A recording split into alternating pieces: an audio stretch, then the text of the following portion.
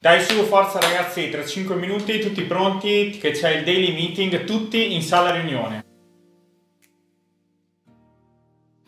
Quante mattine non iniziano così per chi lavora in un team di prodotto, in un team di sviluppo? Penso tantissime, praticamente tutte. Il Daily Stand-Up Meeting è una cerimonia ricorrente per chi adotta le pratiche di sviluppo cosiddette del mondo agile. In particolare viene adottato e seguito da chi adotta lo Scrum Framework, il framework di lavoro agile più famoso. Però oggi vorrei darvi un'interpretazione diversa. Facciamo prima un passo indietro. Nel daily meeting il format più famoso più o meno è qualcosa del genere. Si va a turno uno alla volta ai partecipanti del meeting e si chiedono le fatidiche tre domande. Che cosa hai fatto ieri? Che cosa farai oggi? E di che cosa hai bisogno? Ci sono dei problemi? C'è qualche cosa che non riesci a fare? Ci sono delle difficoltà? E ognuno dei partecipanti al meeting risponde a queste tre domande. Dopo aver acquisito un po' di dimestichezza, questa cosa viene abbastanza naturale e il team procede in questo rituale praticamente tutti i giorni. Per i team che invece adottano una Kanban board o lo stile Kanban per la gestione delle attività, il daily meeting è un qualcosa di leggermente diverso, prende una forma diversa. Il facilitatore o il moderatore del, del meeting che cosa fa? Beh, si fa la, fa la lettura, quella che si dice la lettura della board. Eh, per convenzione e per rinforzare il concetto che il sistema Kanban è un sistema in pull, in tirare, quindi dove non è che il lavoro viene spinto da sinistra verso destra del nostro processo e il team viene continuamente caricato di lavoro, e fa tante cose in contemporanea. Il sistema Kanban è un sistema in tirare, quindi dove il team accetta lavoro se la, solo se la propria capacità lo consente grazie ai WIP limit. Questi dettagli potranno essere argomento di un altro video, se vi interessa fatemelo sapere nei commenti. Dicevamo, Kanban è un sistema in tirare, quindi le attività vengono accettate dal team in modalità da destra verso sinistra. Ecco che la lettura della Kanban board da parte del moderatore avviene in questa modalità.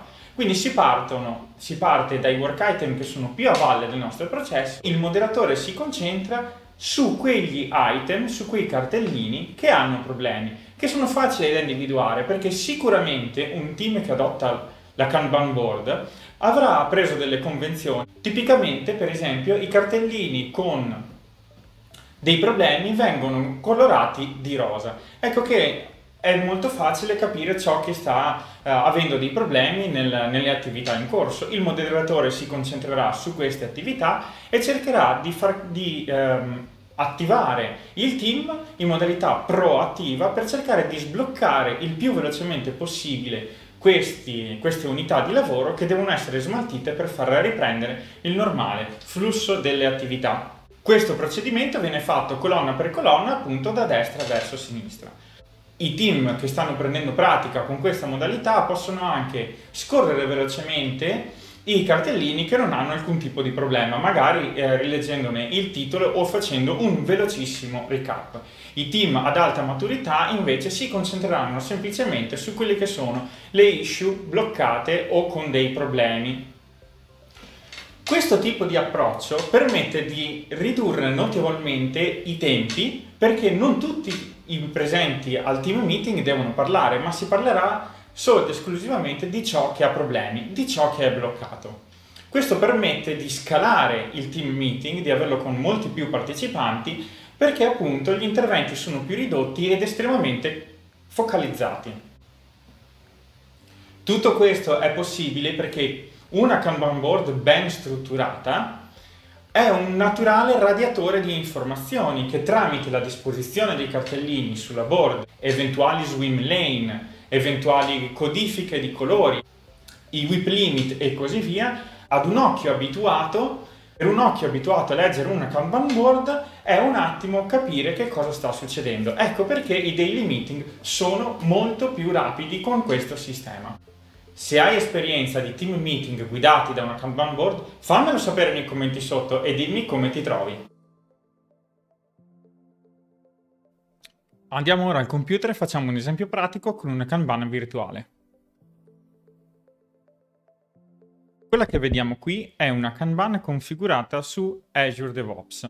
Azure DevOps non è l'unico strumento sul mercato che permette di fare Kanban virtuali, ma è quello che conosco meglio, per cui utili- lo utilizzo per questa dimostrazione.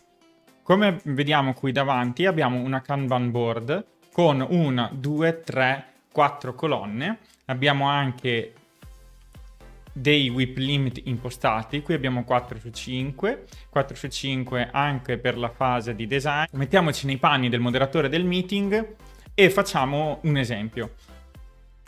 Cominciamo da leggere a destra verso sinistra, quindi l'occhio mi cade immediatamente su questa user story che dice As a customer I should be able to select different shipping option. Mi accorgo che eh, ha subito dei problemi perché come team ci siamo messi d'accordo che i work item problematici vengono colorati di rosa, quindi facendo finta che questa attività sia assegnata a Michele Ferracin, il moderatore chiederà, ehi Michele, allora cosa sta succedendo? Come mai hai, hai marchiato questa unità di lavoro come mh, problematica? Che cosa sta succedendo?